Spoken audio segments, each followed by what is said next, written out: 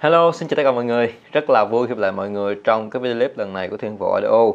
À, thì hôm nay thì Sang sẽ giới thiệu đến mọi người một cái dòng sản phẩm đến từ thương hiệu Monster. Đó chính là dòng sản phẩm Monster Boomerang.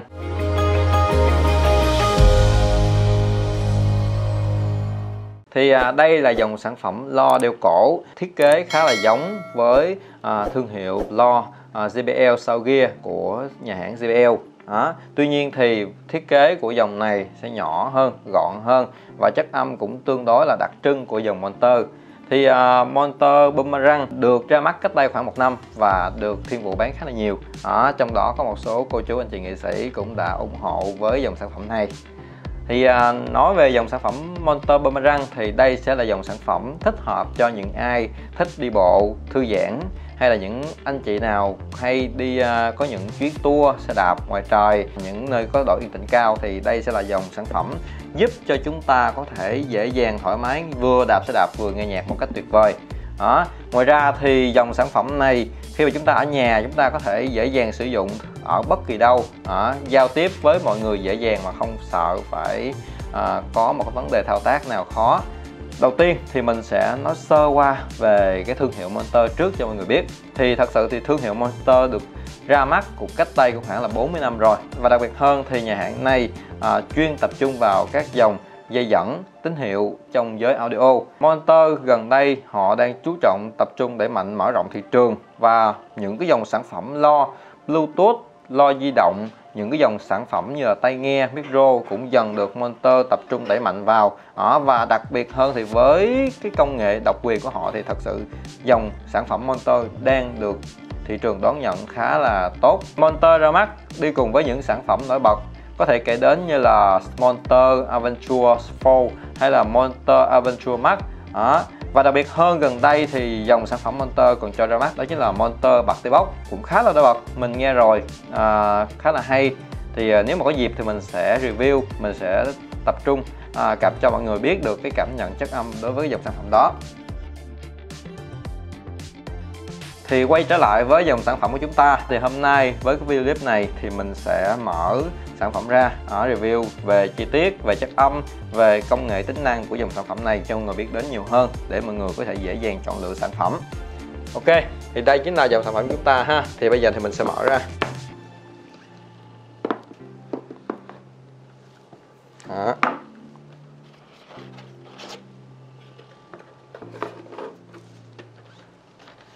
Ok.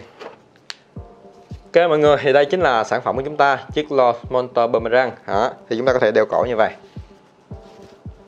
Ừ, tương đối là thoải mái và nhẹ nha mọi người. Đó, không quá nặng cũng không quá nhẹ giúp cho chúng ta có cái độ chắc chắn khi mà chúng ta đeo cổ. Ngoài ra thì bên trong mình cũng có thấy nhà hãng cho chúng ta thêm à, một cái hộp phụ kiện. Thì à, bên trong này thì à, sẽ là sách hướng dẫn catalog ngoài ra thì ờ, nhà hãng còn cho chúng ta một dây sạc nè. Mình hình như mình thấy ở bên trong là có dây sạc. Đây, mình để ở đây đi. Ok, nhà hãng cho chúng ta thêm một dây sạc.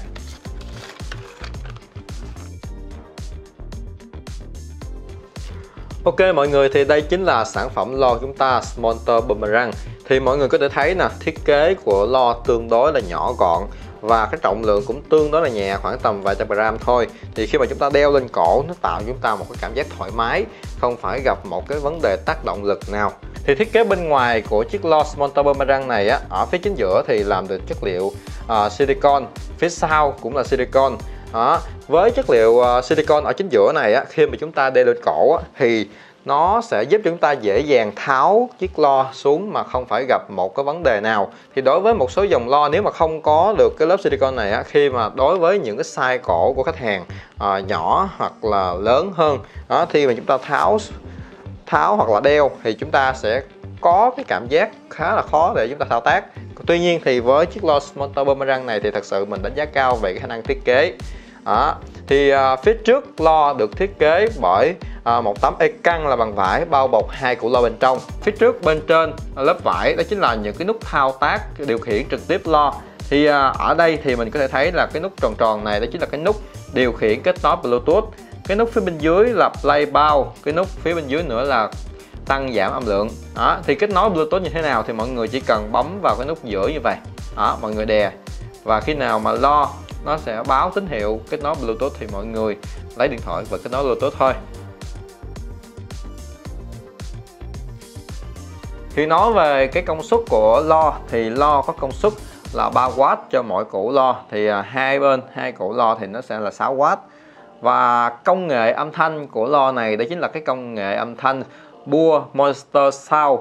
Thì đây là công nghệ độc quyền của Monster, giúp cho chúng ta có thể trải nghiệm âm thanh vòm một cách tối ưu nhất có thể. Khi mà chúng ta đeo lên cổ nè, cái cảm nhận âm thanh của chúng ta từ lo, từ vai chúng ta đó, sẽ đến cọ đến tay chúng ta nghe nó sẽ rõ hơn chi tiết và chân thật hơn rất là nhiều. Ngoài ra thì khi mà mọi người à, nghe ở cái mức âm lượng lớn á, thì người bên ngoài xung quanh vẫn nghe. Tuy nhiên thì thật sự thì người bên ngoài nghe ở một cái chất âm tương đối thôi. Chứ nếu mà muốn cảm nhận trực tiếp được cái chất âm của dòng này thì chúng ta phải đeo lên cổ. Và khi mà chúng ta không muốn ảnh hưởng đến người xung quanh thì chúng ta có thể giảm nhỏ lại và chúng ta có thể nghe ở cái phần tai chúng ta thôi.